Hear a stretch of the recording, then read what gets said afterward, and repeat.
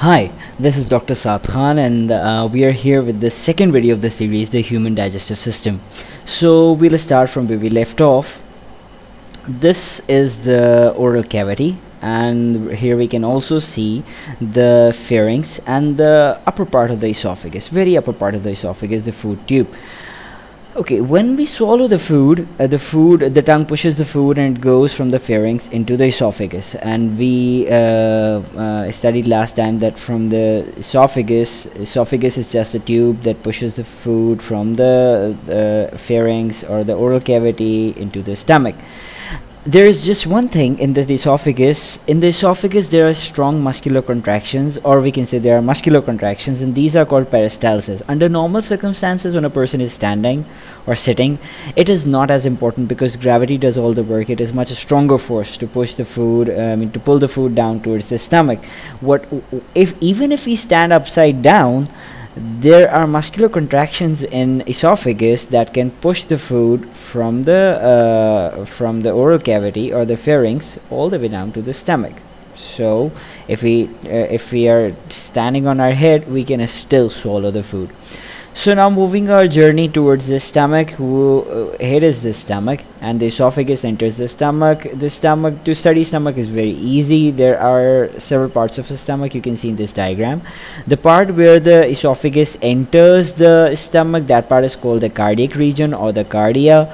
And the main part of the stomach the main bulk of it is called the body of the stomach. Uh, here is a small part that is called the fundus of the stomach. You can see it in this figure it is shown in blue color. That where the esophagus enters the stomach if you draw a straight line from there the top dome of the stomach that is called the fundus. So the fundus of the stomach the cardiac region the main body of the stomach and down here is the antrum of the stomach. It is a part like the funnel. The open uh, open part of this is called the antrum the pyloric antrum and uh, from the pyloric antrum this small part. This part is called pyloric canal and this opening is actually called the pylorus. Generally we call all of this part the pyloric region of the stomach. This is the cardiac region of the stomach this is the pyloric region of the stomach this is the body of the stomach and this upper part is the fundus of the stomach. Okay food enters in the stomach through this uh, esophagus and here there uh, there is the cardiac sphincter sphincter is a rubber band like thing it is a valve like thing and it does not allow food while the stomach is churning up the food the stomach is mixing the food with the gastric juice.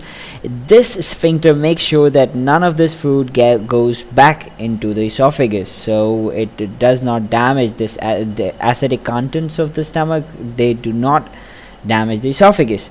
Okay and here in this diagram we see a stomach is uh, cut open so we can see there are several layers of muscles in a stomach. In whole of the digestive system the circular layer is present and the longitudinal muscle layer is present. This is nothing special here. But here in a stomach what is different what is special is that the unique part of it it has oblique muscle layer this oblique muscle layer is not present in any other part of the digestive system except for the stomach. So these three layers of the stomach they mix up the food real good. They churn it up with the digestive juice with the gastric juice which is produced in the stomach. Okay outside it is covered by serosa. This is the serosa which covers all of these layers and this is the outermost layer. The innermost layer is the mucosa. The mucosa of the stomach is folded up. You can see it is folded up and it has these foldings called rugae they are called gastric rugae and it is because of these foldings that the stomach when it is empty its volume is about 50 milliliters but stomach but after typical meal its volume rises to about one to one and a half liters. But this stomach is very extendable. It if we take a heavy meal it can extend up to four liters and it can it can extend down all the way down to the pelvis. It can extend down to here very here uh, off screen so uh, the, these uh, mucosa of the stomach has a small gastric glands. These are the gastric glands and these gastric glands produce uh, two important things interesting things. That the stomach itself produces gastric juice which has HCl number one and number two it produces pepsinogen. Pepsinogen is actually an inactive form of an enzyme pepsin that can digest protein that actually digests protein. So how is it that a stomach has this HCl and a stomach has this protein digesting enzyme in his stomach is itself not being eaten up. Okay think of think about it yourself. I'll give you some clues and we'll discuss it in the next video. Um, it is mainly because of the this uh, stomach mucosa is covered with mucus. So the the, the actual uh, acid is not directly in contact with this mucosa. And secondly these this uh, the mucosa uh, the mucosal uh, epithelial cells they get sloughed off only every like three or four days.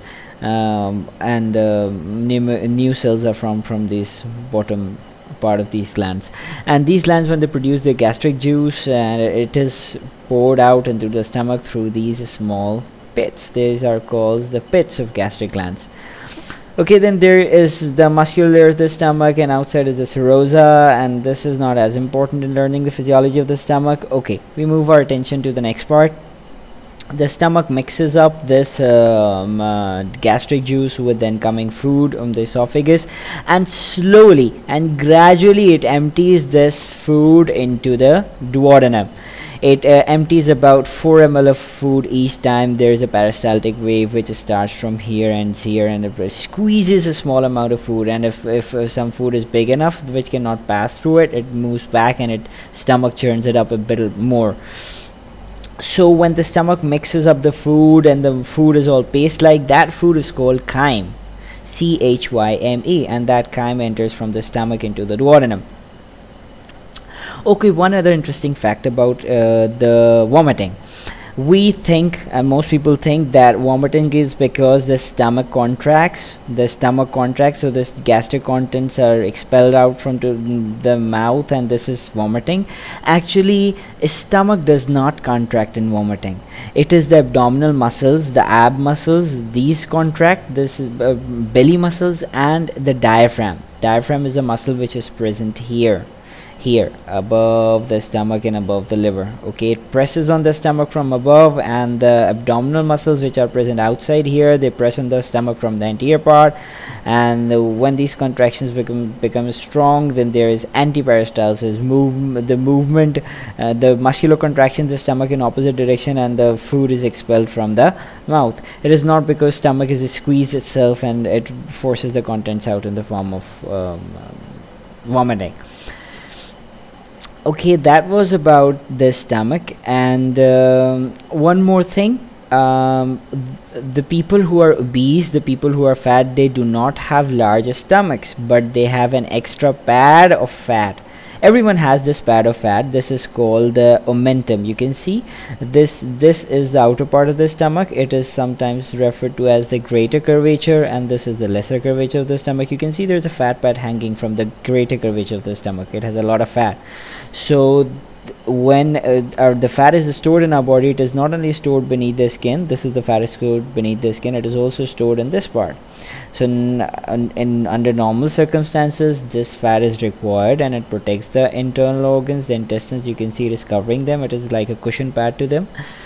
But when it increases in amount a lot the stomach the, the belly is protruded mm, and uh, your belly is fat okay so it is not because of the size of the stomach is it is actually because of this omentum that the belly is out and the person looks fat.